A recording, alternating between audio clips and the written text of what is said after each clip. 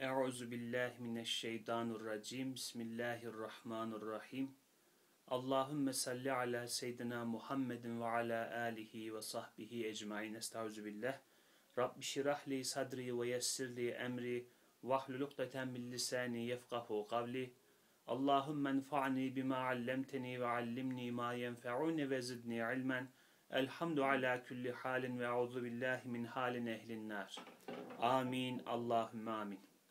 Selamünaleyküm arkadaşlar. Risale-i Nur okumalarımızda Sözler Risalesi'nin 10. söz yani Haşir Risalesi'nden devam ediyoruz. Haşir Risalesi'nde 5. surete kadar geldik. Kadar geldik derken çok ilerlemişiz gibi anlaşılmasın. Gidebildiğimiz söz basım külliyatın tasarımına göre, e, neşriyatına göre 1, 2, 3, 4, 5. sayfadayız. Yani Haşir Risalesi'nde 5. sayfadayız. Sözler Risalesi'ne göre ise 86. sayfadayız. Yani yine söz basımın sözler külliyatına göre 86. sayfadayız. Ee, buraya kadar ne gördük dersek isminden de anlaşılacağı üzere Haşir Risalesi bize e, Amentümüzün bir parçası olan Müslümanlar için vazgeçilmez bir iman akidesi olan öldükten sonra dirilme e, hakikatini daha bu dünyada yaşadığımız, parçalarını gördüğümüz, derslerini aldığımız bir şey olarak izah etti. Yani biz aklın içinde ilerleyemeyeceği İbn Sina'nın tabiriyle aklın içinde ilerleyemeyeceği bir şeye iman etmiyoruz. Bu dünyada numunelerini gördüğümüz şeylerden hareketle ötemizde mutlaka olması gereken bir şeye iman ediyoruz. Hatta şunu da söyleyebiliriz. Aslında biz haşrin farklı yönlerini, yanlarını, numunelerini bu dünyada hasreten bahar sayfasında müşahede ediyoruz. Fakat ahirette kendi haşrimizi müşahede edeceğiz. Başka varlıkların haşirlerine bakarak ona iman edebiliriz diye gördük bu Risale boyunca hakikatlerde izahında, daha doğrusu suretlerde izahında bunu gördük. Ve 10. sözün başındaki ayeti kerime de zaten bize bu bakış açısını öğretti.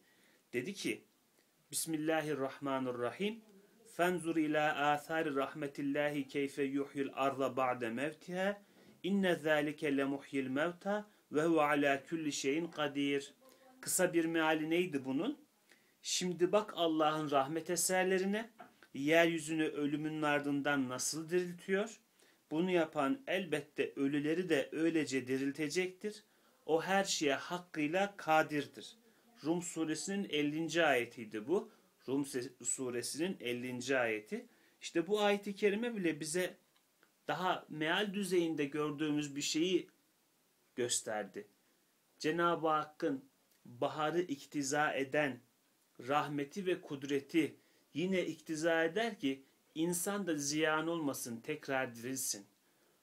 Bahardaki binlerce, yüz binlerce, milyonlarca tekrar diriltilme olayını muktezası olan rahmet ve imkanına el veren kudret yine iktiza eder ve imkanını el verir ki insan da tekrar diriltilsin. Ziyan edilmesin ki insandaki sanat e, varlığın bu diğer öğelerinden çok daha fazla.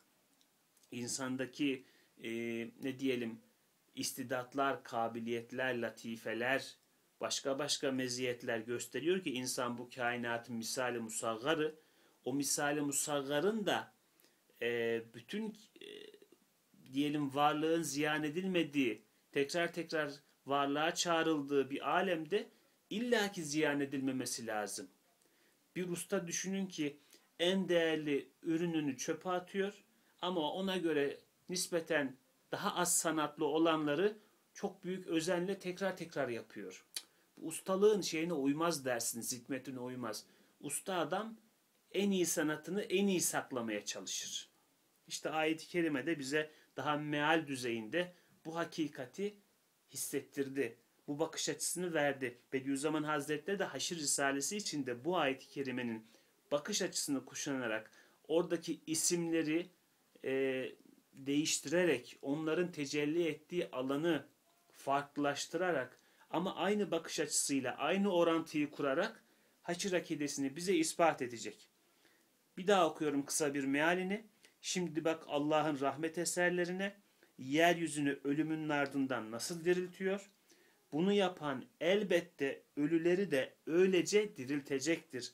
Bunu yapan elbette ölüleri de öylece diriltecektir. Baharı yapan insanı ziyan etmeyecektir. O her şeye hakkıyla kadirdir. Zaten gücü yetiyor yani. Onun için bu imkansız bir işte değil ki yapmamazlık etsin. Yani Hılful Vaat Üstad Hazretleri başka bir yerde bunu söylüyor. Vaadini yerine getirmeme, vaadinin hilafına hareket etme iki şeyden kaynaklanır. Ya acizsindir ya cahilsindir.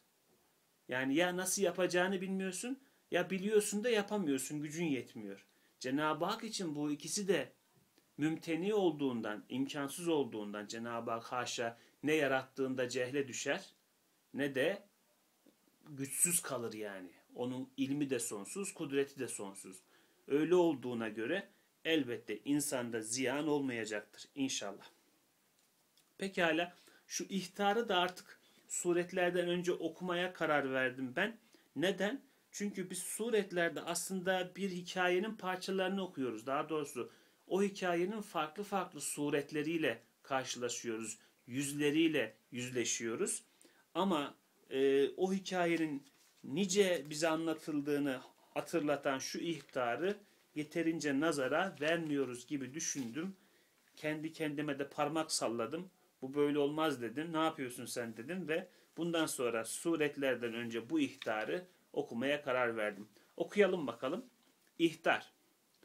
Şu risalelerde teşbih ve temsilleri hikayeler suretinde yazdığımın sebebi hem teshil hem hakaik-ı İslamiye ne kadar makul, mütenasip, muhkem, mütesanid olduğunu göstermektir.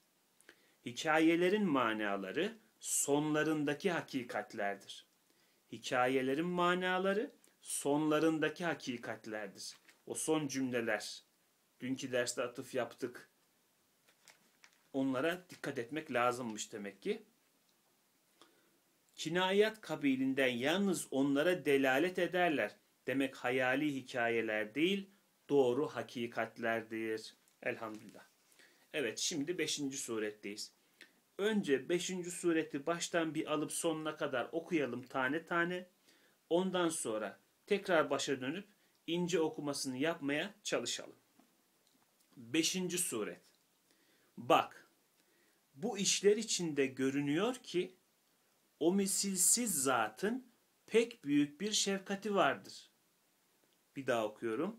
Bak, bu işler içinde görünüyor ki o misilsiz zatın pek büyük bir şefkati vardır. Şefkat görünüyormuş. Çünkü her musibet zededin imdadına koşturuyor. Her suale ve matluba cevap veriyor.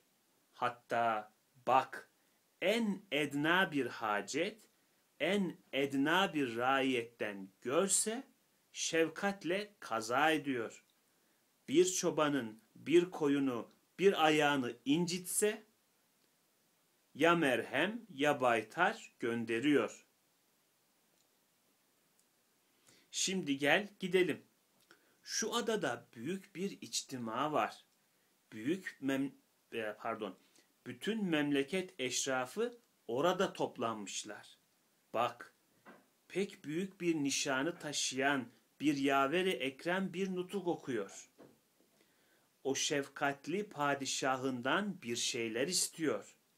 Bütün ahali, evet, evet, biz de istiyoruz diyorlar onu tasdik ve teyit ediyorlar. Şimdi dinle. Bu padişahın sevgilisi diyor ki, Ey bizi nimetleriyle perverde eden sultanımız!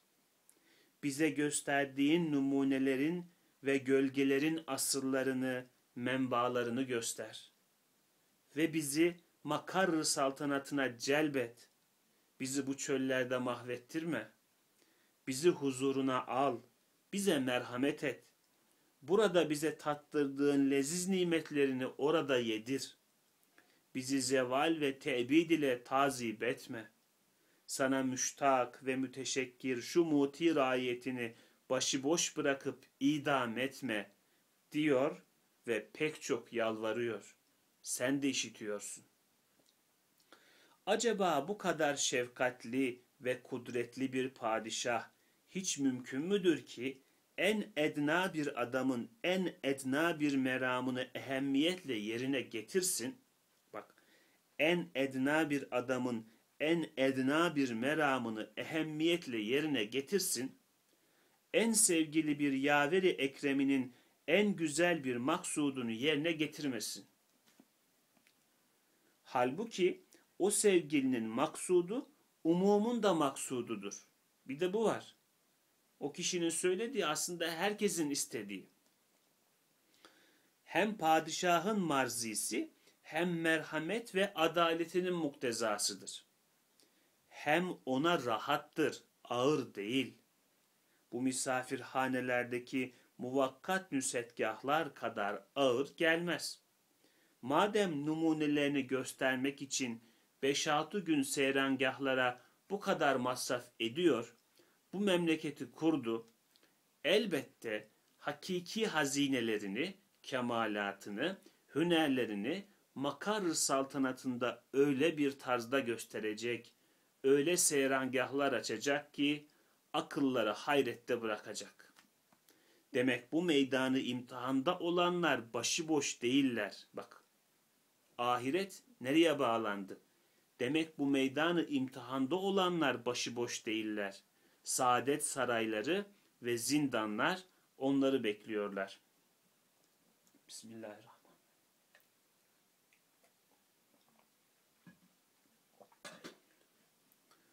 Evet, şimdi genel okumamızı yaptık. İncelikli okumamıza başlayalım. Şunu söyleyelim daha başlarken. Ee, burada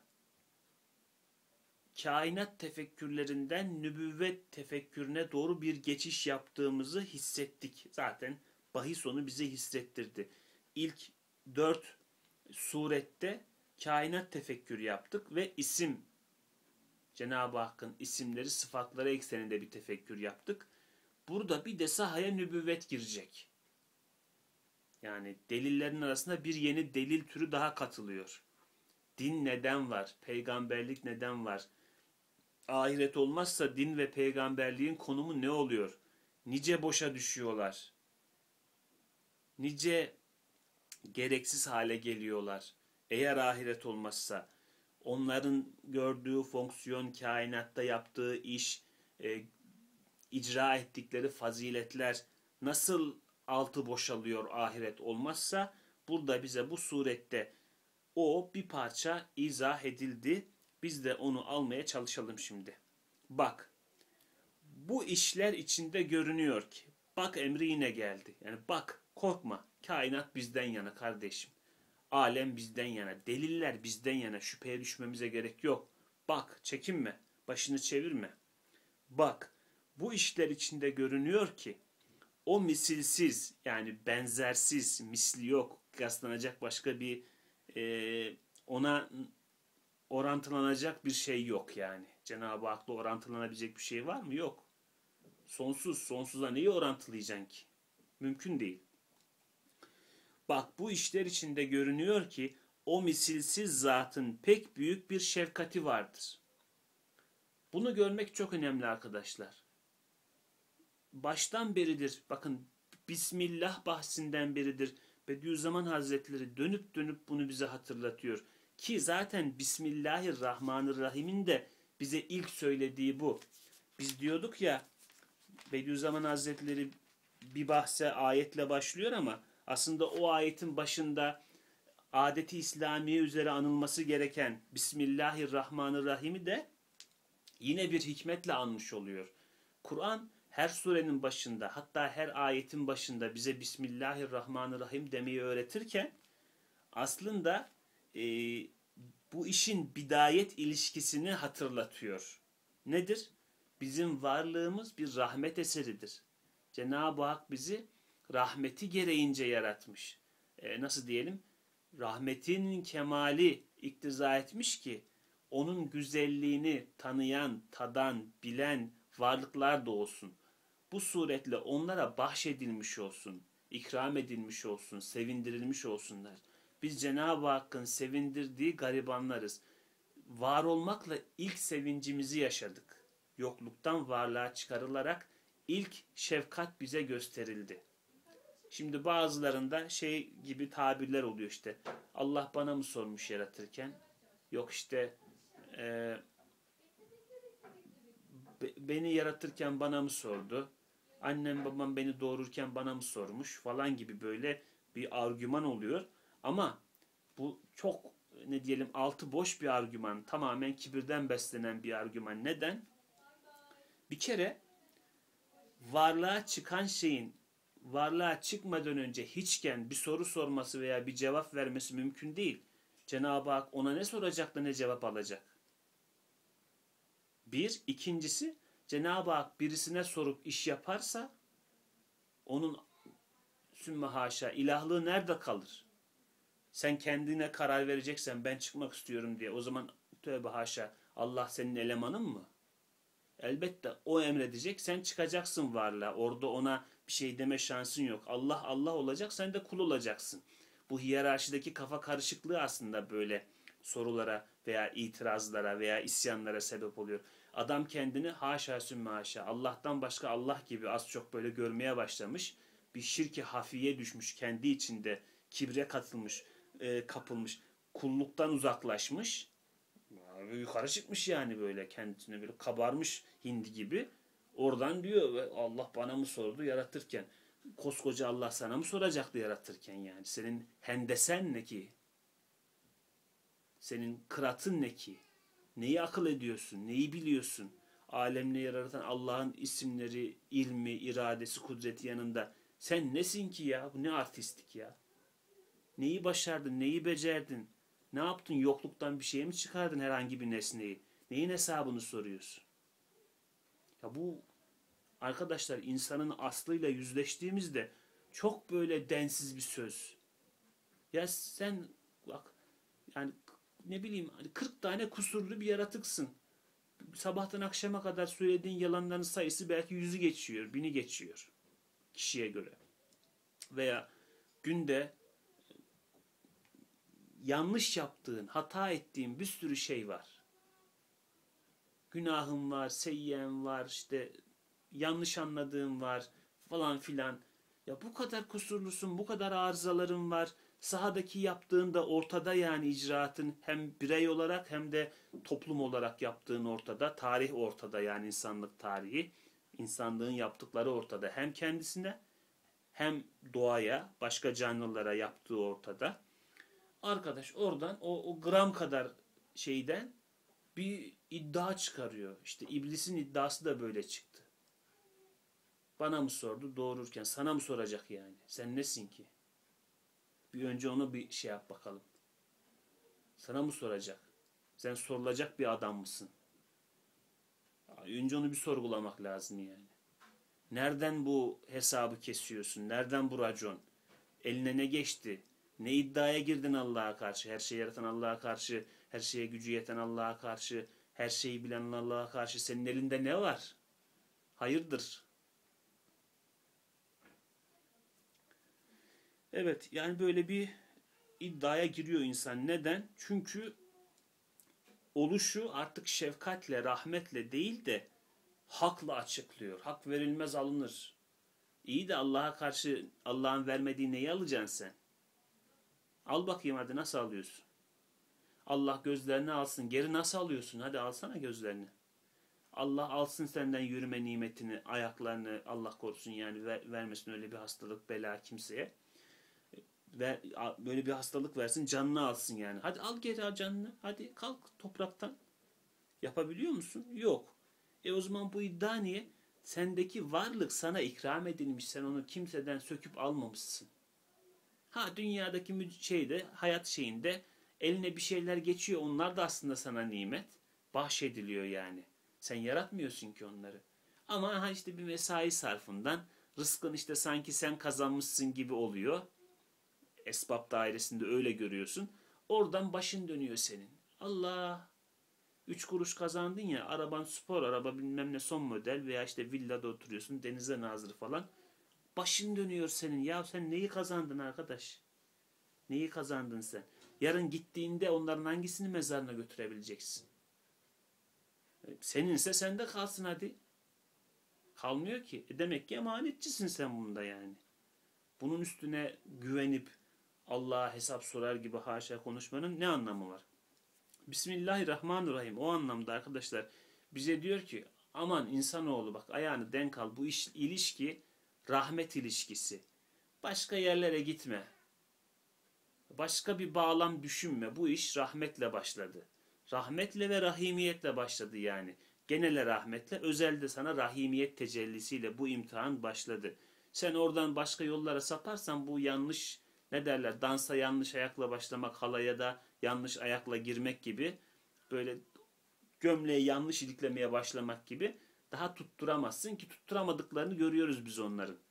Bir kere adam düğmeyi yanlış iliklemeye başladı mı Allah'a karşı iddialara girmeye başladı mı o adamın gittiği yer dalaletin dibi oluyor yani. Şeytanları bile kıskandıracak bir ahmaklığa, zeka görünür bir ahmaklığa varıyor. Allah bizi onlardan olmaktan muhafaza eylesin. İçimizdeki dışımızdaki hilelerden, oyunlardan göz açıp kapayıncaya kadar onlarla baş başa olmamak üzere muhafaza eylesin. Amin. Bak bu işler içinde görünüyor ki o misilsiz zatın pek büyük bir şefkati vardır. Bu ikramlar, bu inamlar, bu faydalanmalar bir türden de değil yüz bin türden. Ya insanın mesela aldığı rızıkları düşünün. İnsan bir tek böyle mi rızık alıyor? Gözüyle de alıyor, kulağıyla da alıyor. Tenine rüzgar değse teniyle de alıyor. O teniyle aldıklarının da çok çeşitleri var veya işte burnuyla aldıklarının da çok çeşitleri var. Bir değil binlerce sofra kurulmuş önüne adeta alıyor. Onun dışında düşünceyle aldıkları var. Eliyle el sanatlarıyla aldıkları var. Koşuyorsun ondan bir lezzet alıyorsun, yürüyorsun ondan bir lezzet alıyorsun. Çocuk seviyorsun ondan bir lezzet alıyorsun. Koyun seviyorsun, kuzu seviyorsun, hayvanı seviyorsun, başka bir lezzet alıyorsun. Bak bu kadar bu kadar kat kat kat kat kat kat verilmiş sana. Sürekli alıyorsun. Bir sorman lazım ya bunları kim verdi bana? Ben bunları kendim tasarlayarak çıkmadım varlık piyasasına. Bir çıktım bunlar elimdeydi zaten. Nasıl geldi bunlar bana? Sabah kalksan kapının önünde bir Ferrari bulsan üzerinde de Ahmet sana hayırlı olsun yazsa dersin ki ya bunu bana kim gönderdi arkadaş? Benim böyle bir şeyim yoktu. Bir sabah kalktım bunu buldum. Bir sabah kalktım ev buldum. Bir sabah kalktım sofra buldum.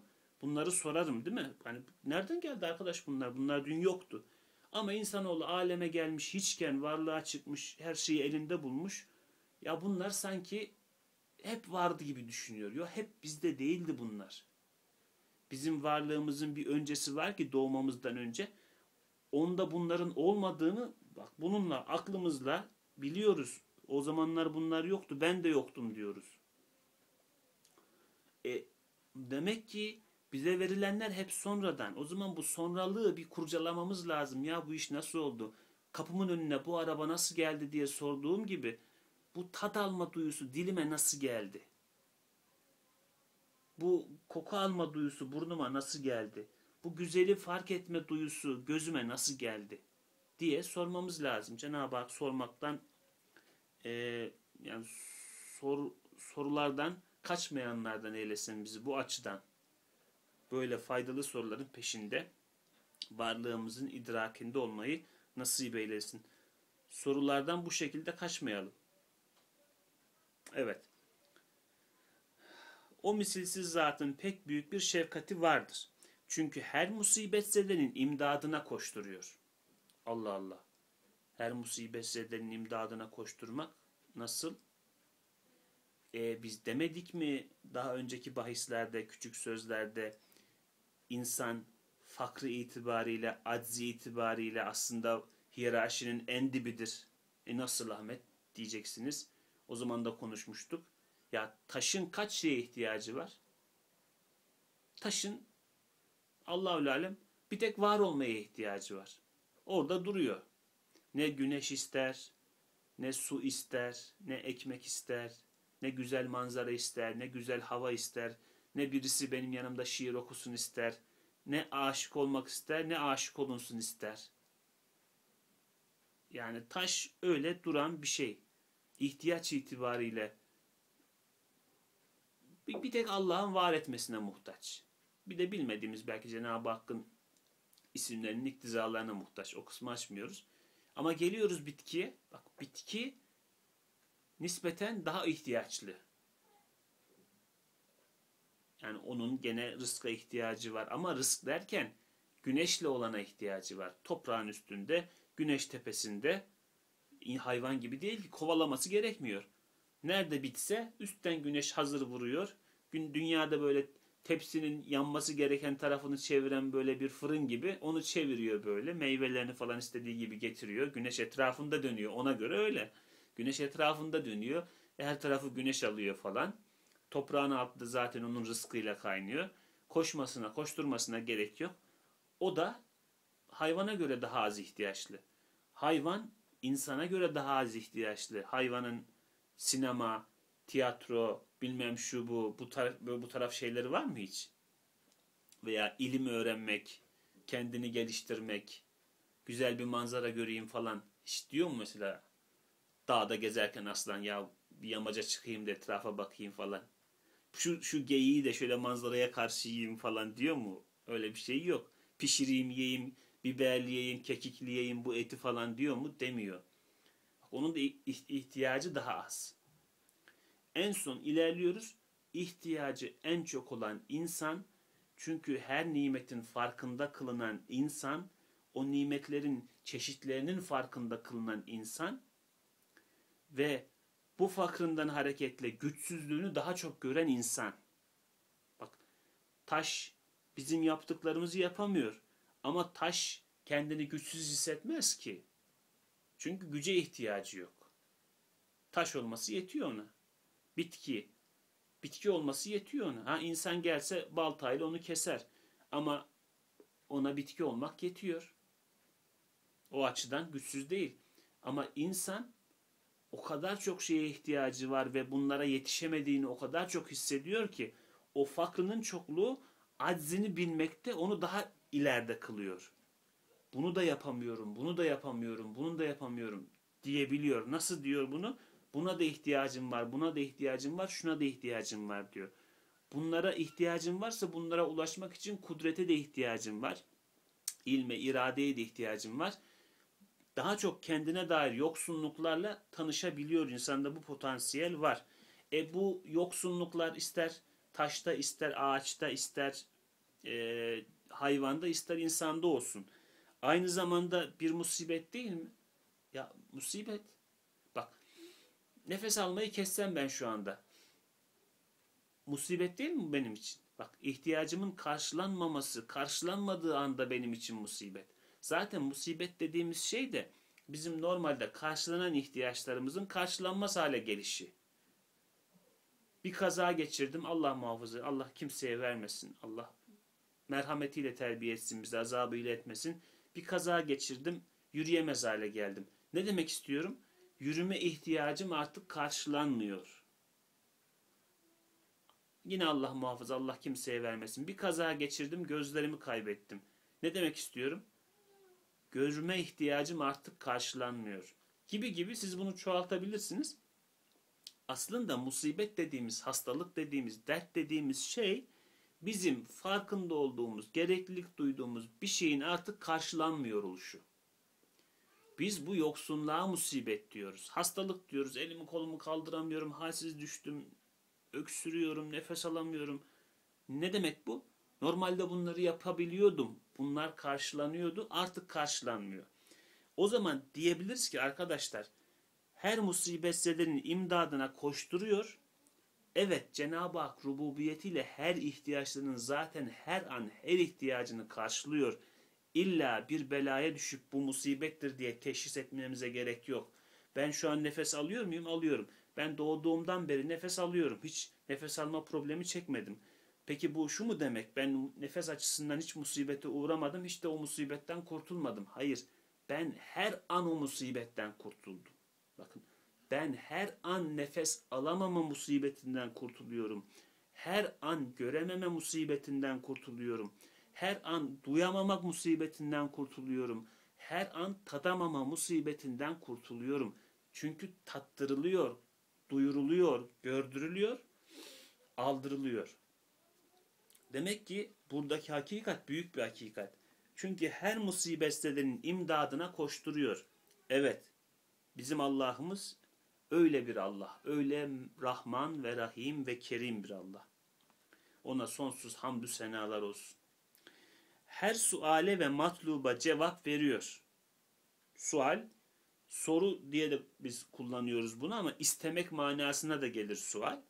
Ve matluba, sual ve matlub. Matlub ne demek?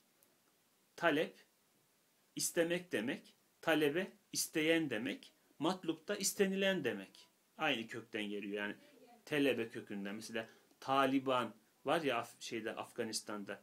O da talip olanlar yani öğrenciler demek. Aslında o bir öğrenci hareketiymiş başladığında gibi. Yani bu telebe kökünden birçok kelime geliyor ki bunları zaten dilimizde kullanıyoruz. Benim şeyde mesela Hindistan sinemasında çok dikkatimi çekiyor. Matlap yani diyor matlap ne istiyorsun diye soruyor. Talep etmek manasında kullanıyorlar bunlar çok. Mesela ne demek istedin diyor veya ne istiyorsun diyor. Onda hep bunu söylüyor. Matlap. Matlap. Araplarda da bu şey var. Denk gelmişsinizdir belki.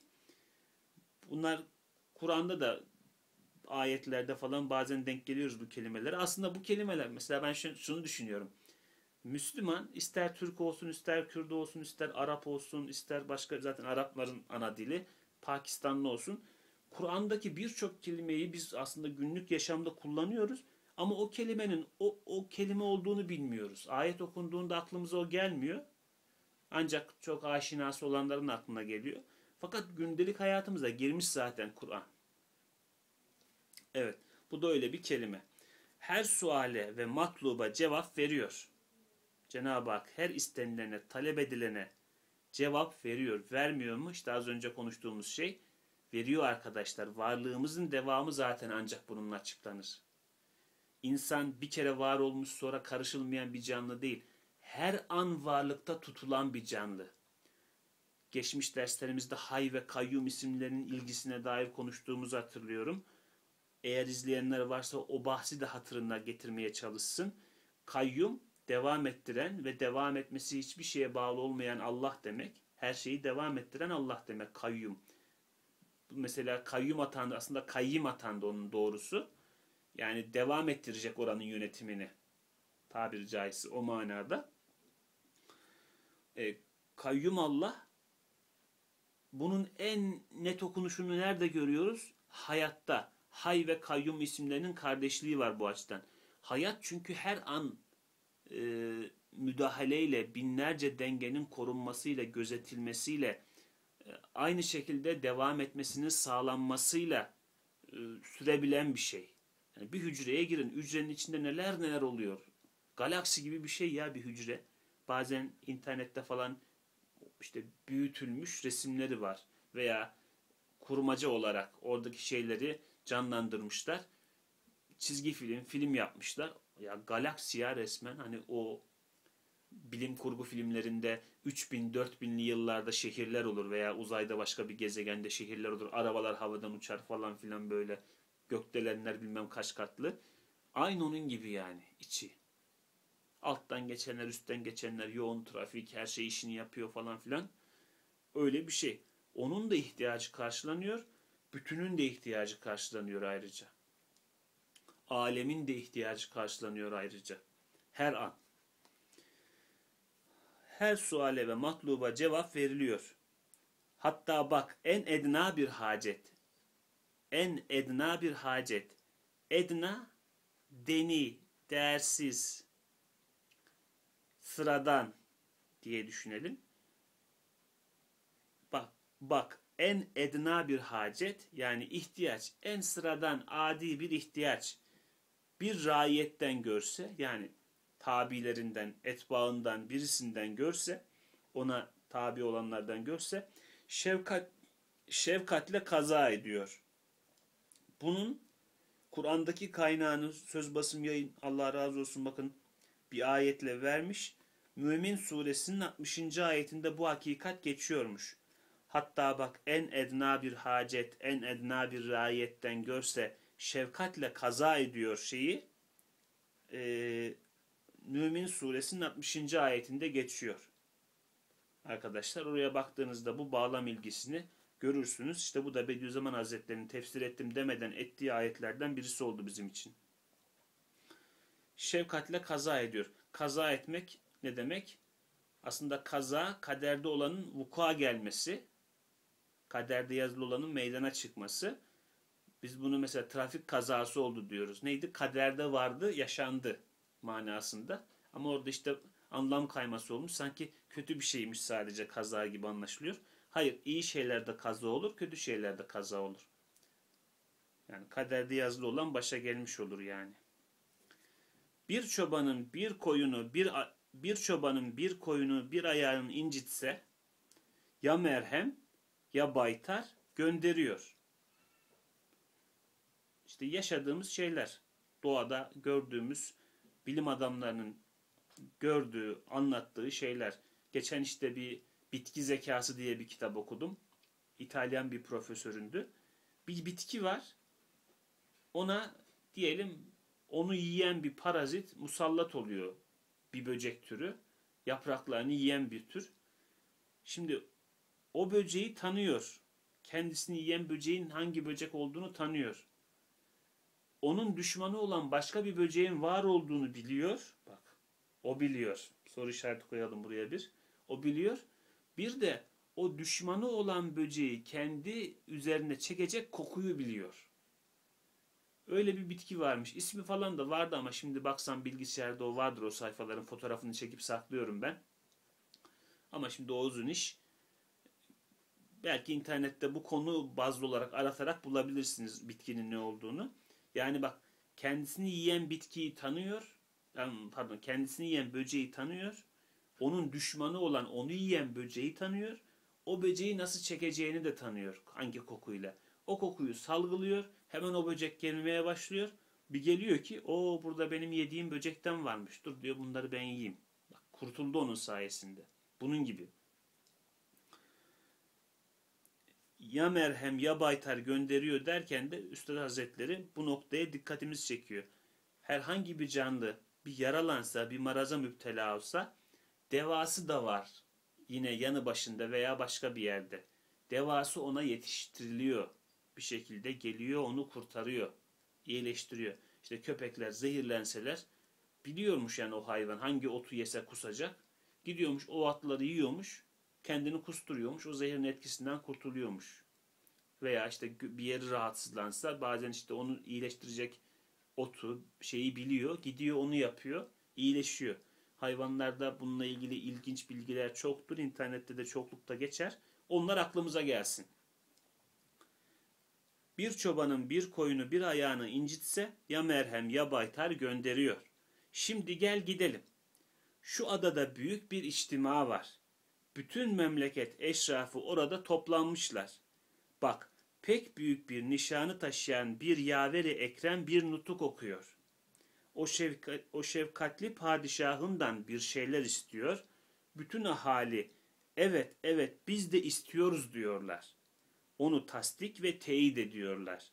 Şimdi dinle bu padişahın sevgilisi diyor ki Şimdi üstteki bahis neydi? Alttaki bahis ne oldu?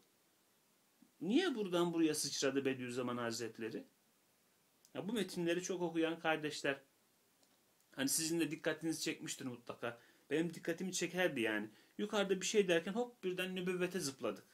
Niye böyle zıpladık? Aslında yukarıda bizi hazırladı. Nasıl? Şimdi musibetzedelerin imdadına yetişiyor. Her suale matluba cevap veriyor edna bir haceti en edna rayetten görse şefkatle gidermeye çalışıyor. Bir çobanın koyunu ayağını citse hemen merhem baytar gönderiyor. Büyük bir şefkatle kainatta tasarruf ediyor. Rahmetle, rahimiyetle tasarruf ediyor. Böyle bir Allah insanın ancak peygamberler tarafından cevaplandırılabilecek vahisiz cevabı bulunamayacak şeylere karşı e, sıkıntılarını gidermez mi?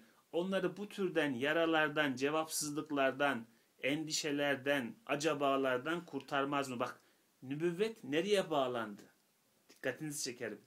Rahmete, kainattaki genel rahmet tecellisine gitti, nübüvvet bağlandı. Onun içinde rahimiyet de var elbette. Özel çünkü insana özel bir tecelli var burada. Ve nübüvvet aslında Bismillahirrahmanirrahim ile bağlı. Vahiy niye geldi?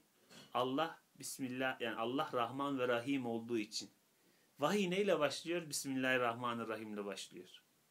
Nübüvvet niye geldi? Bismillahirrahmanirrahim için. Yani Allah Rahman ve Rahim olduğu için.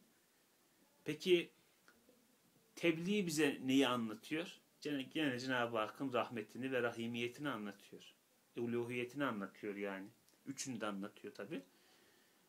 Yani arkadaşlar o büyük rahmet tecellisini görünce nübüvveti de anlamamız lazım. Burada deistlere parmak sallıyoruz biraz. Yani onlara diyoruz burada mesela. Ya bakıyorsunuz Allah'ın kainattaki rahmet tecellilerini her nesneyle ayrı ayrı ilgilerini, yardımlarını, inayetlerini, keremlerini görüyorsunuz. Siz de görüyorsunuz, biz de görüyoruz yani. Olanlar ortamızda, uzayda bir yerde olmuyor bu işler. Her canlının ihtiyaçları gideriliyor, yardımına yetişiliyor, kurtarılıyor bir nevi derdinden, gamından, sıkıntısından. E böyle bir Allah iktiza eder ki nübüvvetsiz, vahiysiz cevaplanmayacak sorulara karşı da nübüvvetle, vahiyle cevaplar verilsin, peygamber gönderilsin, insanlar acabalar içinde bırakılmasın. Nasıl dua edecekleri, nasıl ibadet edecekleri, Allah'ı nasıl razı edecekleri, nasıl sonsuz cennete kazanacakları, bunların cevaplarını çocuklar, insanlar bulabilsinler.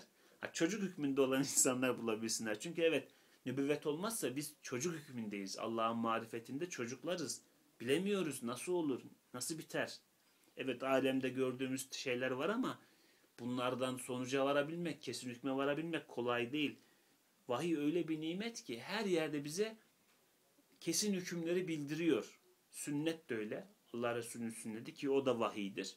Vahiy gayrimetluldur. Tilavet olunmayan vahiydir. Bize Allah'ın neyden hoşlandığını, neyden razı olduğunu söylüyor.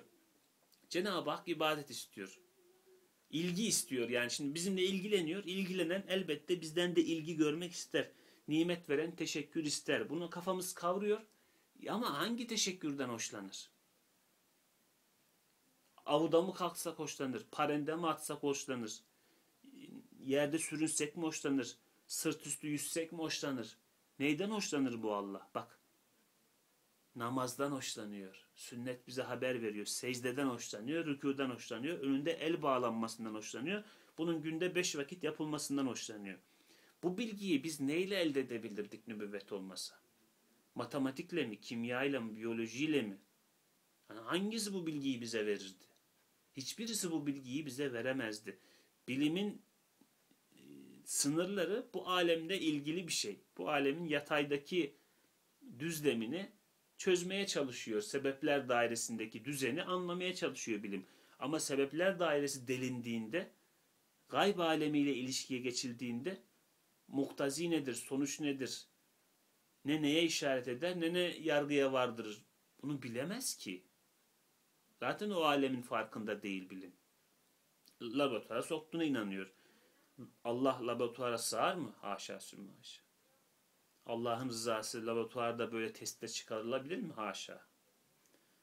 O yüzden nübüvvet bu rahmetin iktizasıdır. O şefkatin iktizasıdır. Yukarıdaki bir bağlam ilgisiyle buraya geldi yani. Şimdi gel. Gidelim. Şu adada büyük bir içtima var. Yani büyük içtima bir toplantı var. Toplanmış insanlar. Askerdekiler o içtimanın ne olduğunu bilirler. İçtima var dendiğinde hani toplanacağız. Cem olacağız manası var bütün memleket eşrafı yani memleketin şerefli insanları, üst kademe insanları veya sakinleri genelde bu içinde kullanılır eşraf yani oranın sakinleri, orada yaşayanlar, orayı şereflendirenler gibi orada toplanmışlar. Bak pek büyük bir nişanı taşıyan nişan yani böyle herhalde madalya gibi ünvan gibi bir şey. Nereye ait olduğunuzu gösteriyor. Fuar çalışanıysanız ben mesela kitap fuarlarında çalıştım.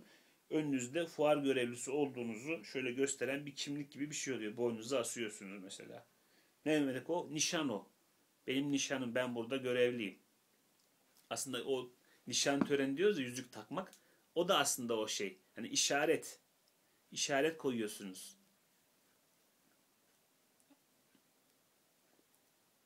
Evet. Bütün memleket eşrafı orada toplanmışlar. Bak pek büyük bir nişanı taşıyan bir yaveri Ekrem. Yani Ekrem demek hemen buradan okuyayım ben size yaver Ekrem'in şeyini. Yaver yardımcı gibi bir manası var galiba. Çok değerli yüksek rütbeli memur demekmiş. Yaveri Ekrem. Çok değerli yüksek rütbeli memur.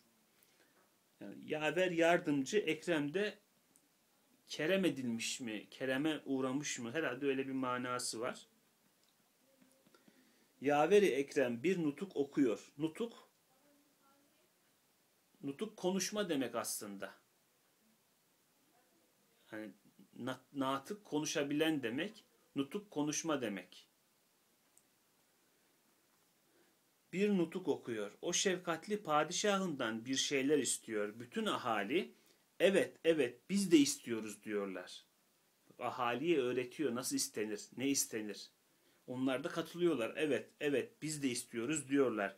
Onu tasdik yani doğruluyorlar ve teyit yine doğrulamak. Do teyit ediyorlar. Şimdi dinle. Bu padişahın sevgilisi diyor ki teyit etmek, desteklemek demekmiş. Tasdik, doğrulamak, teyit etmek, desteklemekmiş. Şimdi dinle. Bu padişahın sevgilisi diyor ki, burada güzel bir dua var. Nurcuların genelde ezbere bildiği, ben bilmiyorum ama genelde ezbere bildiğimiz bir duadır bu. Sofralarda falan da akla geldiğinde yapılır yani. Ey bizi nimetleriyle perverde eden sultanımız! Bize gösterdiğin numunelerin ve gölgelerin asıllarını, menbalarını göster. Ve bizi makar saltanatına celbet Makarrı Saltanat, saltanat merkezi, başkent, payitaht yani o manaya geliyormuş. Ve bizi Makarrı saltanatına celbet. Bizi bu çöllerde mahvettirme. Bizi huzuruna al, bize merhamet et. Burada bize tattırdığın leziz nimetlerini orada yedir. Bizi zeval yani yok oluş ve tebit, tebit neymiş? Uzaklaştırma, kovma ile tazip etme. Yani azap verme bu şekilde sana müştak ve müteşekkir şu muti raiyetini başıboş bırakıp idam etme diyor ve pek çok yalvarıyor. Sen de işitiyorsun.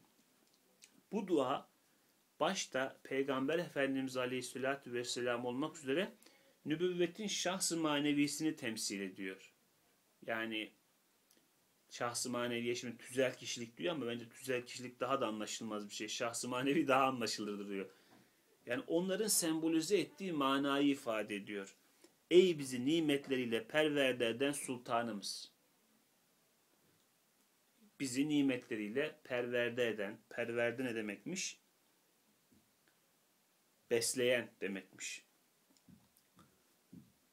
Bize gönderdiğin numunelerin ve gölgelerin asıllarını, menbalarını da göster. Bak, bu dünyadakiler gölgeler, numuneler. Sekizinci sözde o kuyuda asılı kalan adam ne yapıyordu? O meyveleri yiyordu. Üstad Hazretleri o meyvelerin hikmetini nasıl açıklıyordu?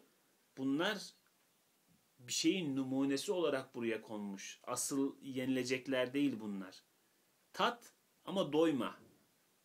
Fazla kaçırma. O tarafta neler olduğunu öğrenmen için buraya işaretler konmuş. Babında. O 8. söz dersinde hatırlayalım. Ee, bize gösterdiğin numunelerin ve gölgelerin asıllarını, menbalarını göster. Ya hatta hatırlayalım, yerinden okuyalım.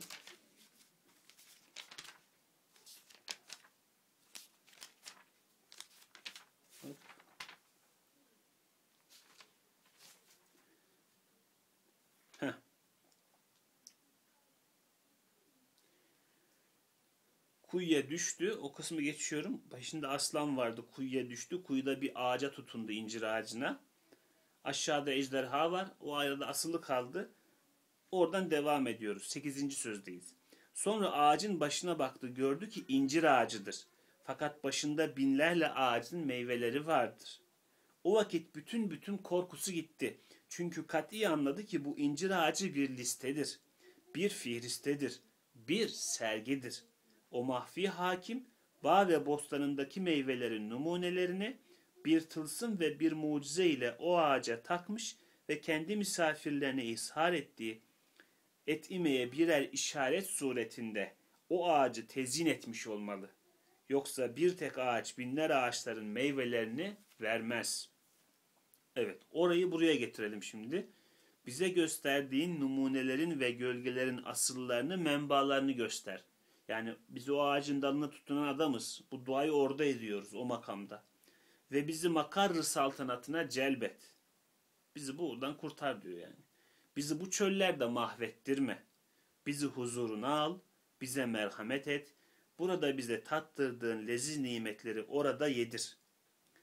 Bizi ceval ve tevbid ile tazip etme. Sana müştak, yani düşkün ve müteşekkir, teşekkür eden şu muti raiyetini, sana boyun eğmiş, itaat etmiş raiyetini başıboş bırakıp idam etme diyor ve pek çok yalvarıyor, sen de işitiyorsun. Tarihten beri Hz. Adem Aleyhisselam'dan Hz. Muhammed Mustafa sallallahu aleyhi ve selleme kadar ondan sonra da onun hakiki varisi olan istikametli ehli sünnet alimlerinde bu halkaya katabiliriz. Bu dua ediliyor. Hep de işitiyoruz. Mutlaka yankıları kulağımıza geliyor. Acaba bu kadar şefkatli ve kudretli bir padişah hiç mümkün müdür ki en edna bir adamın işte en adi bir adam, sıradan bir adam en edna bir meramını ehemmiyetle yerine getirsin, en sevgili bir yaveri ekreminin en güzel bir maksudunu yerine getirmesin. Halbuki o sevgilinin maksudu umumun da maksududur. Yani sadece kendisinin talebi değil aslında bütün insanlığın talebidir. Bütün varlığın talebidir bu. Hem padişahın marzisi, padişahın da razı olduğu şey budur. Hem merhamet ve adaletinin muktezasıdır. Yani padişahın adaleti ve merhameti de bunun olmasını iktiza eder, gerektirir. Hem ona rahattır, ağır değil. Bu misafirhanelerdeki muvakkat, geçici, nüsretgahlar, gezinti yerleri kadar ağır gelmez. Madem numunelerini göstermek için 5-6 gün seyrangahlara bu kadar masraf ediyor, bu memleketi kurdu, elbette hakiki hazinelerini, kemalatını, hünerlerini makarrı saltanatında öyle bir tarzda gösterecek, öyle seyrangahlar açacak ki akılları hayrette bırakacak.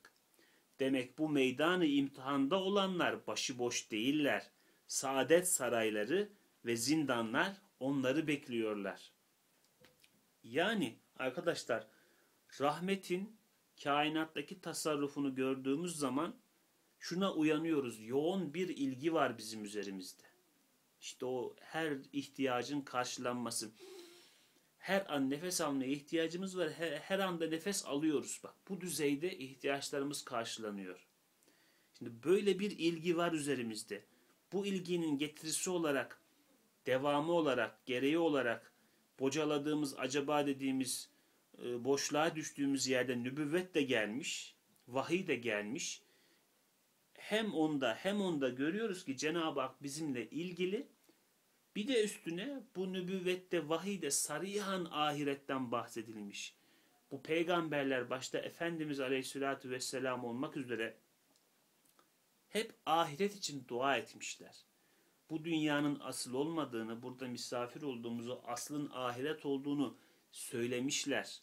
Ayetlerde söylemiş, hadisler de bunu bize haber vermiş.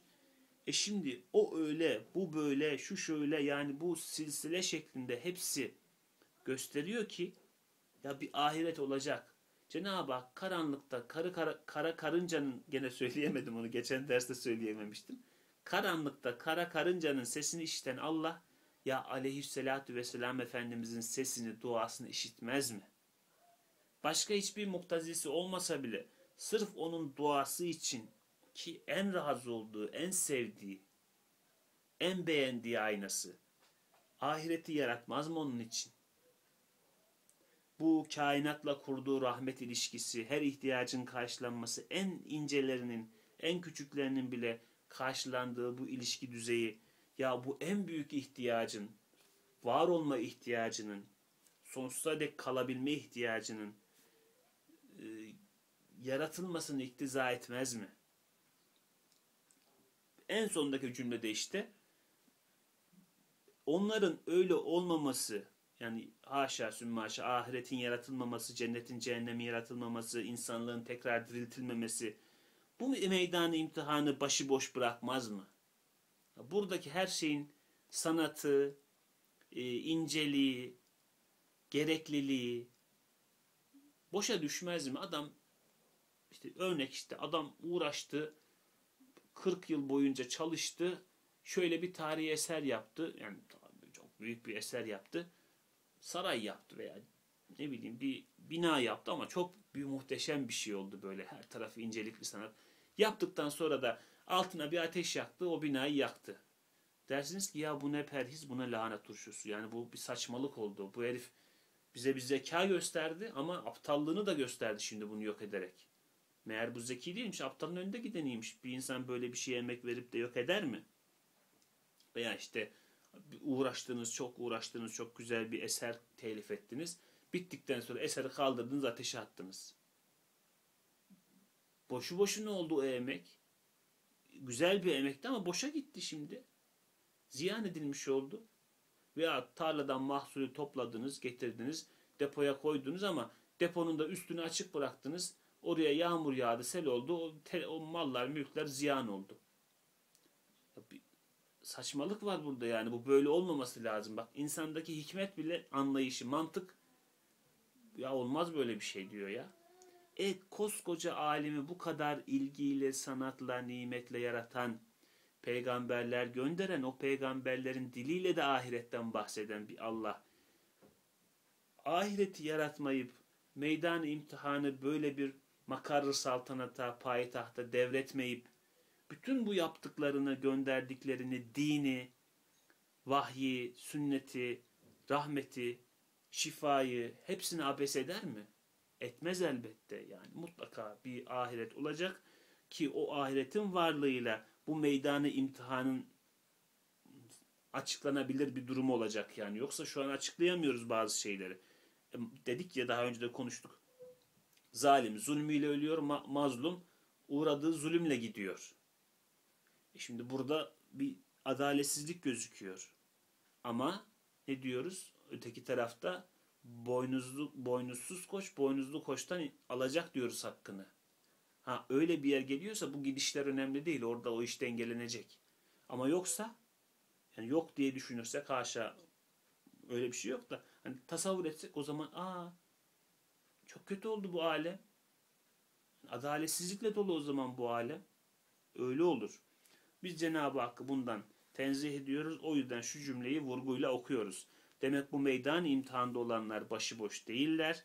Saadet sarayları ve zindanlar onları bekliyorlar. Evet arkadaşlar bugün de süremizi doldurduk. Cenab-ı Hakk'ın fazl-ı keremiyle e, 10. sözün 5. suretini tefekkür ettik kendi çapımızda. Elbette şimdi başa dönsek, bir daha okusak, bir daha konuşalım desek yeni şeyler söyleriz. Bu metinlerin söyleyecekleri bitmiyor. Çünkü kelamında sınır olmayan, yedi deniz bir araya gelse söyleyeceklerini, kelimelerini bitirilemeyen bir Allah'ın e, marifetine dayanıyorlar. Ona işaret ediyorlar. Elbette sonsuza işaret eden o sonsuzluktan bir parça haklanıyor, nemalanıyor diyelim. O yüzden bizim İslami metinlerimizde böyle üstüne ne kadar konuşulsa daha konuşulacaklar bitmeyen bir zenginlik kazanıyor. Fakat bir yerde vedalaşmak lazım. Biz de 5. surette vedalaşmış olduk. Yarın inşallah 6. suretten devam etmek üzere. Bayramınız mübarek olsun. Onun en sona kaldı. Subhaneke la ilme lena illa ma allamtena inneke entel alimul hakim.